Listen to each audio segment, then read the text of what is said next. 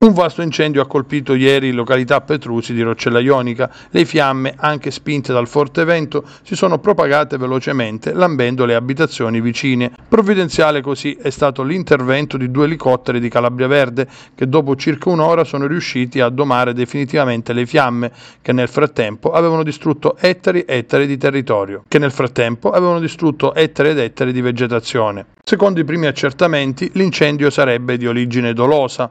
Non è la prima volta che queste contrade vengono colpite dalle fiamme, tenendo anche presente che al momento siamo in bassa stagione. Probabilmente la mano criminale di chi ha deciso di appiccare fuoco ha pensato bene di sfruttare il forte vento, che in effetti ha fatto propagare velocemente le fiamme, mettendo in pericolo parte della popolazione che vive in questa contrada.